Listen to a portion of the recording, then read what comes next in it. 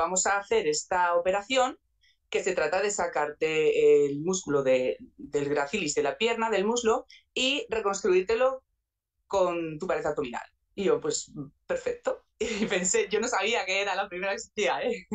No sabía que era la primera y salió salió súper bien. Era la cuarta operación que le hacían por un sarcoma, las dos primeras en el LUCA. Tan bien salió que se plantearon que un embarazo era posible. Al año y pico así, pues en plena pandemia, le pregunté si ya estaba todo reconstruido para poder eh, quedarme embarazada. Con eso, o sea, lo que significa que es el músculo abdominal, todo eso va a crecer. Si había algún problema, me dijo que no, que, era, que ya estaba todo bien y que adelante.